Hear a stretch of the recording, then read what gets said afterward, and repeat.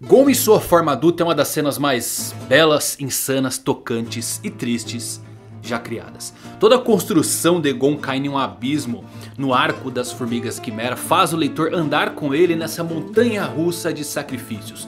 O garoto se tornou um monstro completo, poderoso, sim, mas sem sentimentos, estratégias ou planos. O monstro nasceu apenas com um objetivo, vingança. E muitos se perguntam o que aconteceria se Gon naquela forma se encontrasse com o rei Meruem. O que de fato ocorreria nessa luta? Gon teria capacidade de derrotar o rei das formigas? Quer saber esses segredos? Então se liga que eu vou falar nisso agora.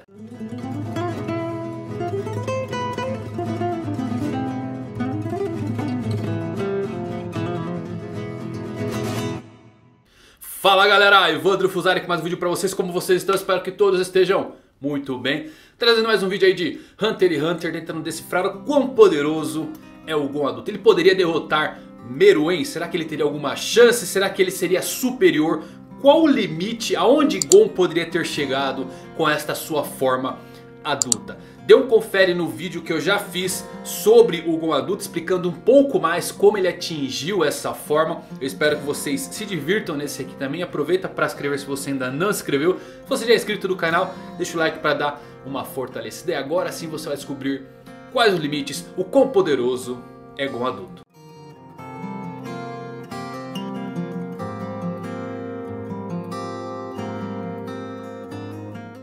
Vamos lá, ao formar um voto em uma condição de imenso sofrimento emocional, Gon conseguiu convocar todo o poder que ele jamais teria. Avançando seu corpo a uma era em que ele poderia derrotar Neferpitou. Sua força física, habilidades Nen e produção de aura aumentaram imensamente. A ponto da própria guarda real temer que ele pudesse representar uma ameaça para o próprio Meruem.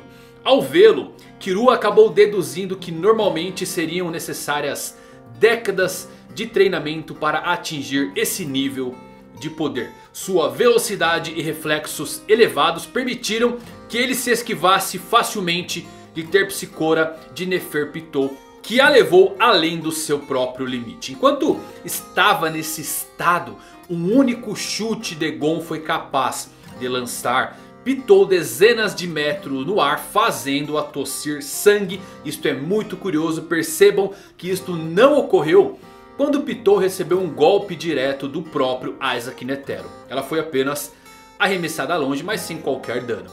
Primeiro Jan Janken de Gon explodiu em Neferpitou, fazendo ela perder a sua consciência. Embora mais alguns fossem necessários para finalmente conseguir matar a formiga. No entanto, o preço a pagar por esse poder foi demais, foi muito grande. Pitou, antes da sua morte, acabou percebendo que essa habilidade só seria possível porque um indivíduo como Gon, extraordinariamente talentoso, jogou fora toda a sua predisposição e comprimiu a sua vida de bom grado, prevendo que Gon jamais seria capaz de utilizar Nen novamente no futuro. E após a morte da guarda real, Gon voltou ao seu corpo normal e acabou entrando em coma. Seu corpo logo começou a se deteriorar, exigindo até mesmo um suporte constante de vida. E ele acabaria morrendo se não fosse pela intervenção dos desejos de Nanika. Apesar de ter se recuperado completamente, Gon permaneceu incapaz de ver ou mesmo utilizar a sua aura. Segundo seu pai, ele simplesmente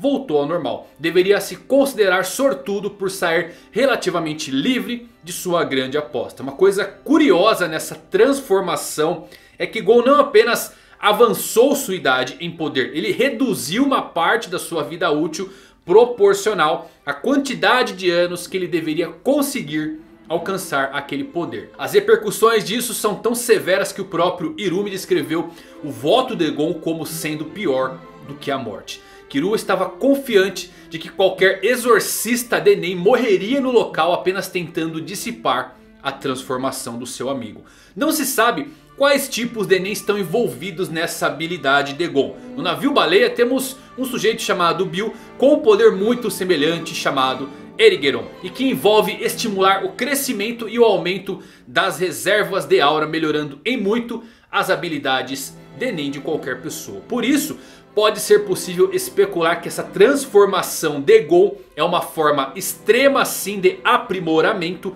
uma nunca vista antes no mundo dos caçadores. Tendo isso em mente, vamos agora aos fatos. Gon poderia derrotar o rei Meruem. Nós só vemos Meruem lutando utilizando sua força física. A sua habilidade chamada síntese de aura não é ideal para lutas. Nunca o vimos usar qualquer tipo de Hatsu durante a sua luta contra Netero. Mas mesmo sem usar Hatsu, que é o pináculo da habilidade de Nen, Meruem já atingiu o máximo em todas as estatísticas. Sua força, agilidade, durabilidade, resistência, aura e acima de tudo inteligência estão fora de cogitação para qualquer humano. Ele também tem um nível insano de tolerância à dor e à resistência a venenos. No início da luta contra Netero, Meruem é absolutamente dominado pelo poderoso Hatsu de Isaac Netero. O Bodhisattva das 100 palmas. Ele não pode fazer nada contra esta técnica. Mas também vimos que basicamente o rei recebe todo o dano que Netero pode causar nele sem sofrer qualquer consequência. Ele até recebe o melhor golpe, a melhor técnica de Netero que acaba consumindo toda a sua força vital para condensar e liberar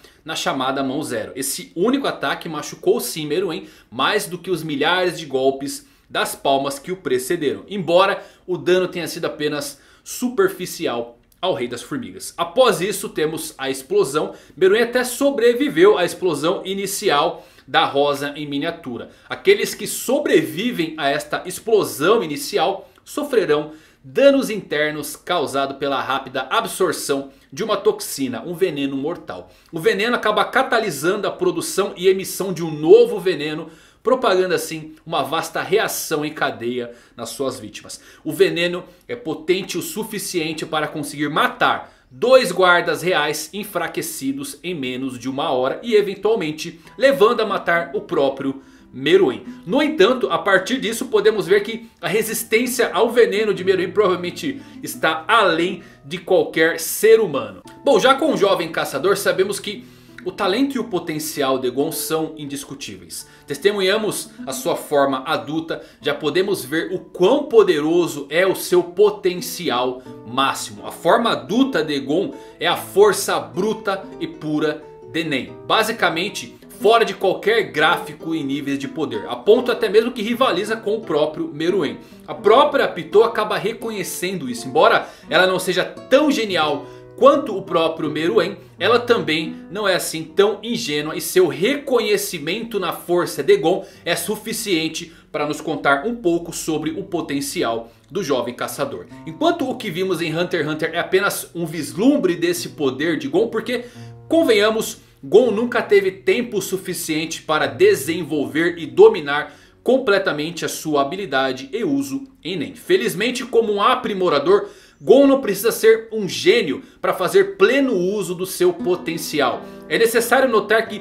um aprimorador em Hunter x Hunter não precisa de habilidades de usos complicados em Nen para crescer em poder. De fato, quanto mais simples o conceito de Nen usado pelo aprimorador, mais fortes eles são. A adaptabilidade de Meruem está além de tudo que qualquer ser humano é capaz. Ele não tinha limites e podemos separar Meruem basicamente em duas formas, pré e pós bomba. Na forma pré bomba, quando o rei lutou com Netero, a única chance de Gon derrotar Meruem é quando consideramos o estado do próprio Meruem quando ele está lutando contra Netero. Porque o Meruem pós-bomba é basicamente um deus após absorver a guarda real. Então considerando o Meruem pré-bomba versus Gon adulto, considerando como Gon lutou e matou Pitou, sim, Gon teria a possibilidade de derrotar o rei Meruem, mas com algumas condições e ressalvas. Vamos lá. Meruem é o resultado de anos de superioridade genética e instinto de sobrevivência pelos vários seres humanos e animais consumidos pela formiga rainha quimera. Ele é o epítome da perfeição em todos os aspectos. Seja em inteligência, controle de Nen e até mesmo capacidade de batalha. Contudo, o Gon adulto literalmente sacrificou tudo o que ele tinha e teria. Seu imenso talento, seu trabalho árduo, sua calma, a sua naturalidade, seu potencial gigantesco de se tornar um dos mais fortes usuários do mundo. Tudo isso em troca de um poder ilimitado. Ele perdeu todo o senso de raciocínio. Ele estava cheio de raiva. Ele queria vingança. Ele queria matar. Seu único objetivo era destruir o ser que estava à sua frente. Incinerar Pitou de uma maneira que nada lhe restaria. Ele não se importava se ele perderia um membro durante o processo. Não se importava se ele morreria. Não se importava se o seu oponente estava sem cabeça. Ele estava louco de raiva. Seu único medo naquele ponto era que a sua raiva desaparecesse. Talvez esse seja o ponto fraco do Gon adulto. Sua raiva era direcionada a Pitou. Seus votos foram para superar especificamente essa formiga. E para compararmos essa forma absurda temos que considerar o que aconteceria se Gon tivesse um ódio semelhante contra Meruem. Não haveria lógica em seus movimentos, muito menos nenhuma estratégia que Meruem pudesse decifrar com sua inteligência. Apenas a mais brutal e pura raiva. Que só iria desaparecer depois que o oponente deixasse de existir. Ambos tinham poder ilimitado, mas Meruem ainda tinha sua sanidade mental e sua inteligência. Isto faria diferença na batalha. Sua capacidade de se adaptar é inatingível. Porém, Gon adulto não daria tempo para isso ocorrer. Com Pitou vimos que a luta durou poucos segundos. Se Gon fizesse isso com Meruem, ele venceria. Se a luta se estendesse mais, Meruem evoluiria e a coisa mudaria de figura. Portanto, como as condições, restrições e sacrifícios de Gon não foram para Meruem e sim para Pitou, Meruem teria a vantagem pelo simples fato de Gon não ligar para ele. Agora, se as condições, restrições e sacrifícios fossem direcionadas ao rei, ele poderia ter superado sim o rei das formigas em segundos. Como o próprio Gon diz, se você quer conhecer alguém, descubra o que o deixa com raiva. Então é isso galera, esse pequeno vislumbre do Gon adulto. A gente só arranhou realmente o que é o Nen, aonde a gente pode chegar. A gente conhece muito pouco dessas habilidades, por mais complexas que elas sejam. Meruem tinha um poder que podemos colocar como ilimitado. Não dá pra saber aonde de fato ele chegaria.